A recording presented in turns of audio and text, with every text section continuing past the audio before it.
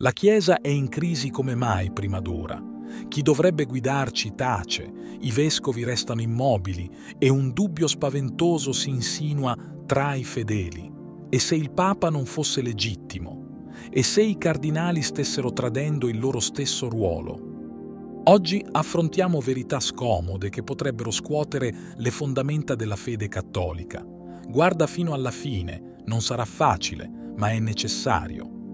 Molti di noi, osservatori e fedeli, si chiedono spesso dove sono i vescovi migliori, dove sono i cardinali pronti a difendere con coraggio la fede. La nostra riflessione, di frequente, è rivolta proprio a quei leader della Chiesa che sembrano essersi ritirati nel silenzio o che si limitano a parlare solo di speranza e fede, senza affrontare apertamente i problemi attuali.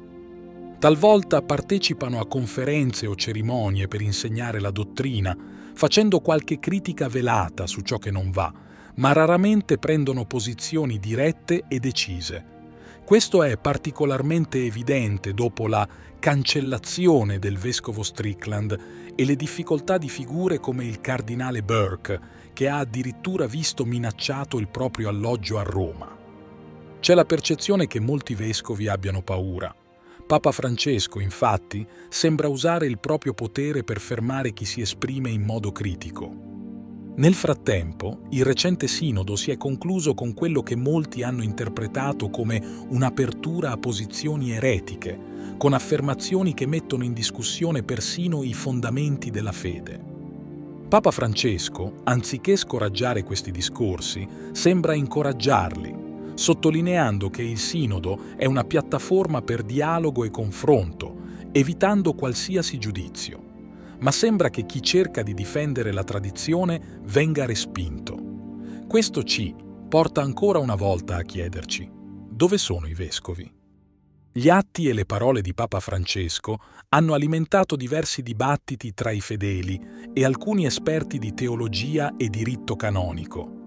Molti osservano una crescente tolleranza verso idee che alcuni ritengono contrarie alla tradizione della Chiesa e questo ha generato ipotesi secondo cui il Papa potrebbe non essere legittimo. Alcuni sostengono che la rinuncia di Papa Benedetto XII non sia stata valida e che, di conseguenza, Francesco non sarebbe il vero Papa. In effetti, c'è chi considera questo un problema serio che necessita di risposte ufficiali e chiarimenti definitivi da parte dei cardinali e degli esperti di diritto canonico della Chiesa. Il mancato intervento diretto dei cardinali, secondo queste persone, rappresenta una mancanza di dovere nell'affrontare le preoccupazioni dei fedeli creando una situazione di dubbio che potrebbe indebolire ulteriormente l'unità della Chiesa. Gli esperti e i fedeli che condividono questo punto di vista si chiedono quindi se i cardinali siano colpevoli di non aver difeso il corpo mistico di Cristo da un potenziale nemico interno.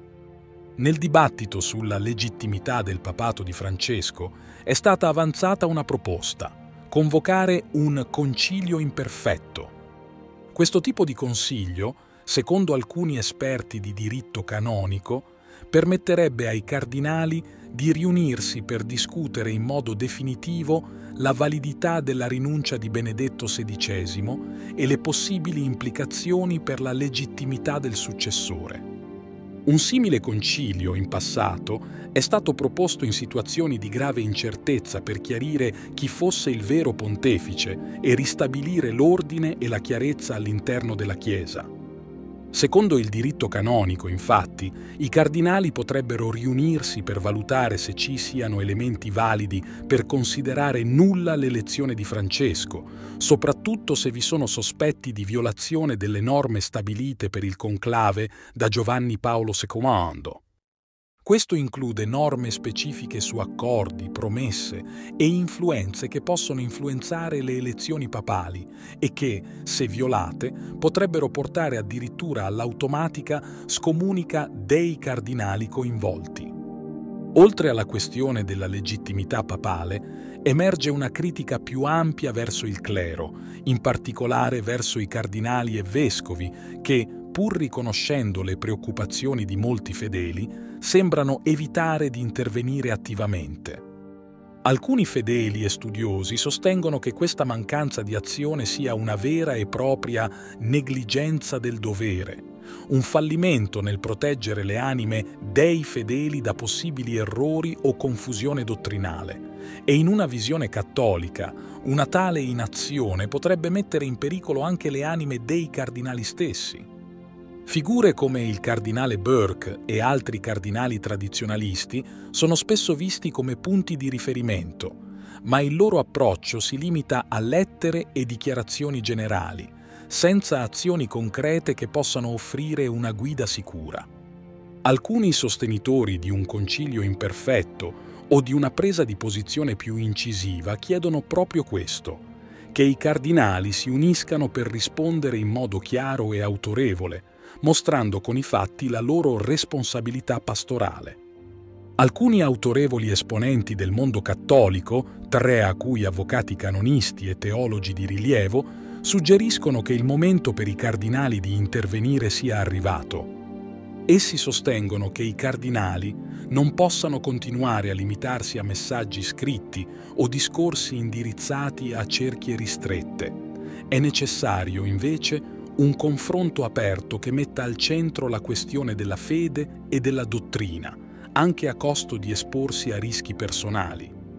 Una delle frasi simboliche di questa richiesta di azione è quella del vescovo René Gracida, che sostiene che la semplice denuncia delle eresie di Francesco non cambia nulla, serve azione. Questo pensiero riflette la pressione che alcuni fedeli e studiosi vorrebbero esercitare sui cardinali affinché essi agiscano in difesa della fede, anche sollecitandoli a considerare la possibilità di un concilio imperfetto o di altre misure concrete per verificare e correggere eventuali errori. In questo contesto, i cardinali sono chiamati a dimostrare il loro impegno e la loro fedeltà alla missione pastorale della Chiesa, affinché il dialogo non si limiti alle parole, ma si trasformi in azioni tangibili a protezione della dottrina e dei fedeli. Mentre la pressione sui cardinali e sui vescovi cresce, anche i fedeli stanno assumendo un ruolo sempre più attivo, chiedendo chiarezza e verità.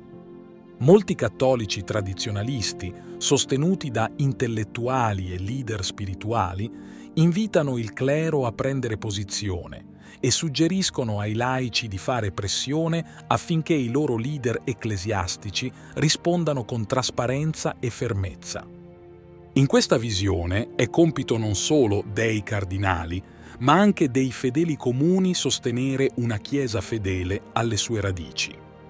Per i fedeli, quindi, la chiamata all'azione si manifesta non solo nelle preghiere, ma anche in un impegno concreto, scrivere ai propri vescovi, sostenere le iniziative di chiarezza dottrinale e, se necessario, esprimere il proprio dissenso verso atteggiamenti considerati ambigui o troppo tolleranti nei confronti di posizioni considerate eretiche.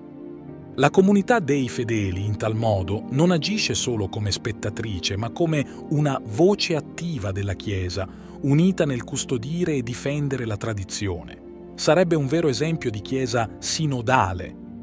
In questo contesto di incertezza e richieste di intervento, la preghiera diventa una delle risposte più potenti per molti fedeli. Di fronte alle divisioni e alle preoccupazioni dottrinali, pregare per l'unità e la forza della Chiesa diventa fondamentale. Si fa appello a ogni fedele perché, oltre a chiedere chiarezza e azione ai leader ecclesiastici, resti saldo nella fede e unito spiritualmente alla Chiesa.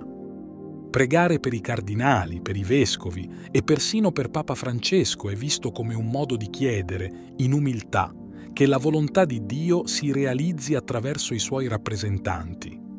Molti movimenti e gruppi laici si stanno unendo per creare catene di preghiera e momenti di adorazione, riconoscendo che qualsiasi cambiamento reale può venire solo da un'ispirazione che parte dal cuore della Chiesa e dalla grazia divina. In ultima analisi, questa situazione complessa chiama sia i leader ecclesiastici che i fedeli a un percorso comune di riflessione, azione e discernimento.